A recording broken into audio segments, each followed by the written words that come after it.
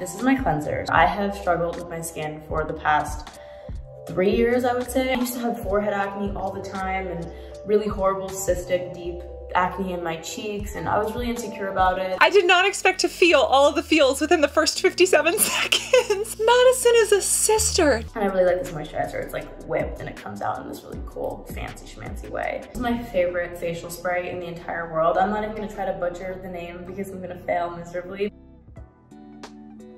Holy guacamole. No. no, no, no, no, no. Um, is this La Mer Eye Concentrate eye cream and this makes me feel so fancy whenever I use it because it has this little thingy. I know how it feels to be afraid to switch things up, but could we create Madison Beer like an acne skincare routine